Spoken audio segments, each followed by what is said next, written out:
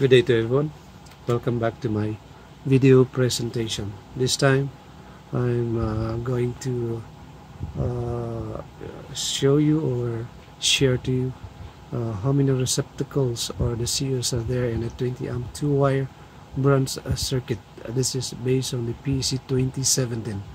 Ang tanong po na ito ay actually the truth and fact about this question is that there is none in the PEC 2017 article that will require how many receptacles for a 20 amp 2 wire branch circuit. Actually, this is a design engineer can uh, stretch the number of duplex receptacle in a 20 amp 2 wire branch uh, circuit as long as he wishes, provided it does not exceed the maximum capacity of a 20 amp uh, circuit breaker where the overloading takes place. If we are going to take a look uh, at the okay let us take a look at this uh, typical load schedule of a design here as you can see we can have a three maximum of 25 sets for uh, a 20 amp circuit breakers which is allowed because we can only have a 19.5 amps maximum which is not yet uh, exceeding the 20 amps of the 20 amp uh, uh, circuit breakers. You see equals to 125 sets times 180 divided by 230 volts is equals to 19.5 this is also typical here what we have here in the uh, load schedule design. This one because uh, we have duplex receptacle so we times this 14 times 180 and we shall get this 180 I mean uh, 10.95 by virtue of the current is equals to 14 times the 180 VA divided by 230 the only problem here the disadvantage of uh, yeah okay if we're going to use this in our design the 25 sets what's going to happen here is that uh, if you have too many too many uh, duplexer we have the, this uh, what you call the voltage drop problem. These too many uh, sets of uh, uh, duplex in a in a circuit branch. We have the voltage drop we have the abuse of utilization of each of the duplex receptacle. What does that mean? Lagi na lang lahat na yata ilalagay na dyan. Hindi na nila na nalalaman kung nag uh, ano na sila nag-over na sila sa maximum na 20 amps. To have an overloading. At uh, the same time kung sa labas itong circuit breaker at si ang tatay nyo ay uh, nag-welding, gusto mag-welding, uh, he would choose to isaksak ito sa isang linya ng 25 uh, sets. And that is what you call the ignorance of an end user about the load ampere. Once na may saksak na yan, ay sabog. Uh, Mag-overload yan, uh, magti-trip ang breaker. What happens when uh, when an overload uh, occurs. Uh, actually what happens is uh, the dielectric or the insulation of the wire becomes deteriorated and damaged and will eventually fail in the IR test result. So kailangan mo nang palitan yan dahil pwede mag-increase ang uh, billing mo dyan dahil meron ka ng failed in the in the insulation sa mga dielectric ng iyong uh, wire. So this will uh, uh, the rule of thumbs comes in. We reduce the design number of uh, duplex receptacle in a branch circuit that will still be a PEC compliant. Actually, the rule of thumb application is not intended for a strict compliance for every situation by a design engineer. It is just a recommended a proposal sa para sa healthy design ng atin electrical plan. Okay, let me go over to the next one. and the applications of the 180 VA based on this PEC 2.20 0.2 0.50 okay if you how can read this one? Actually uh, if you read this one then uh, we can uh, apply this in the layout of this particular layout here. If we have a 180 receptacle one uh, receptacle here this is a two receptacles in uh, a strap or a yoke. This is a three receptacles.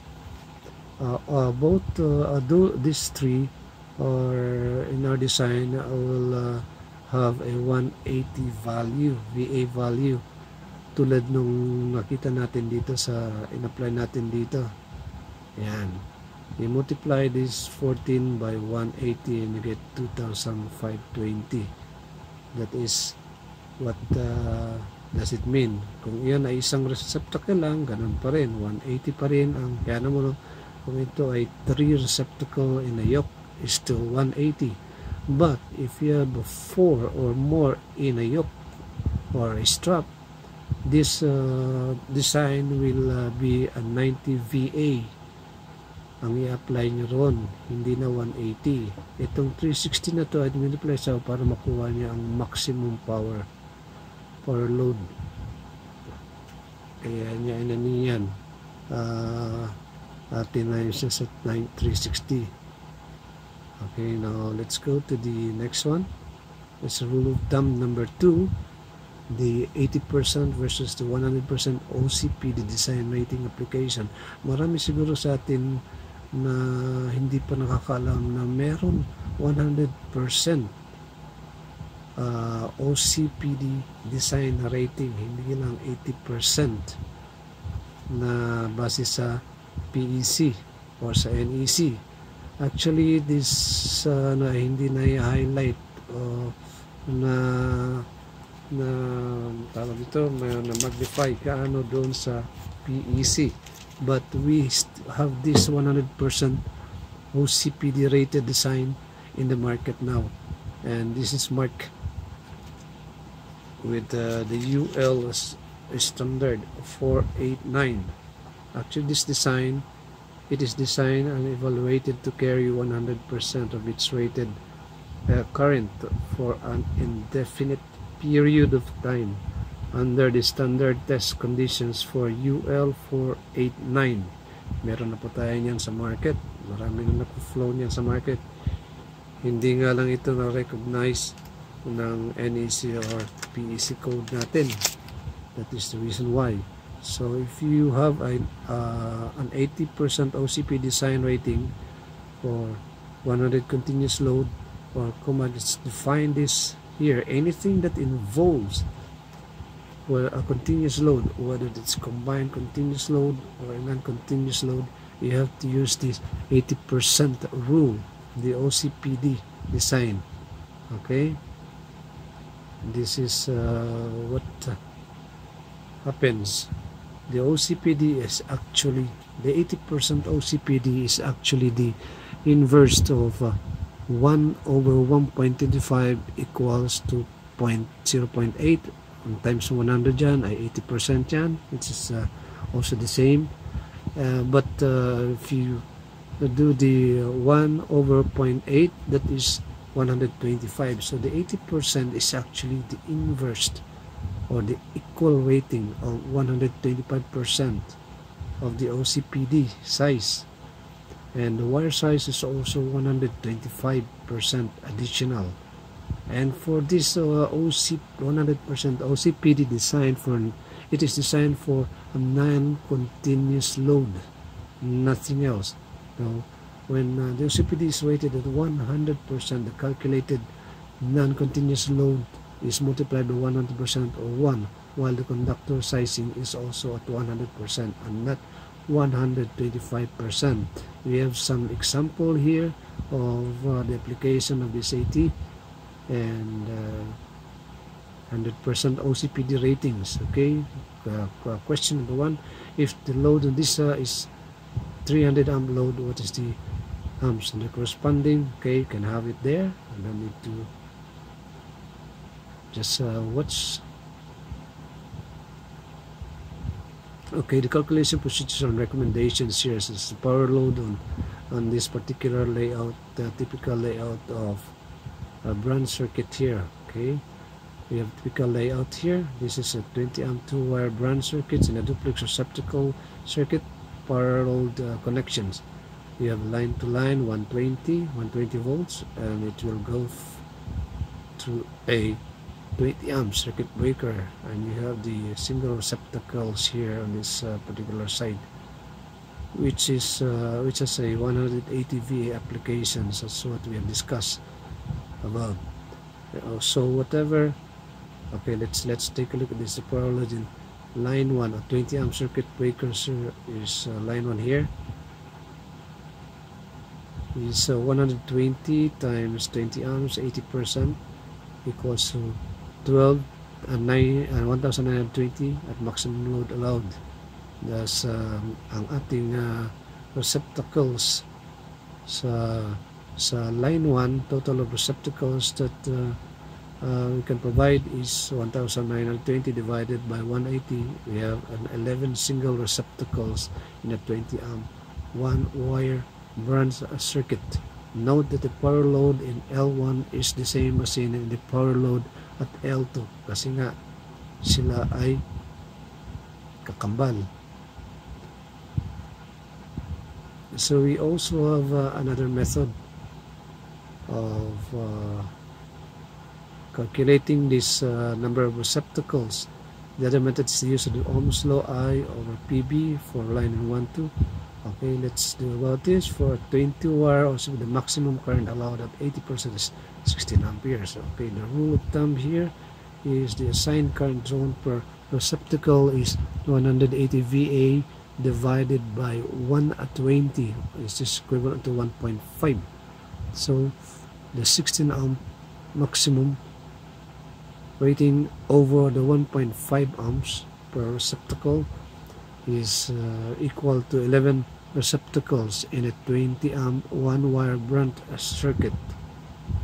Okay so you can see this. You now have on line 1 you now have uh, 11 recept 11 receptacles here single receptacles. And in line 2 you also have a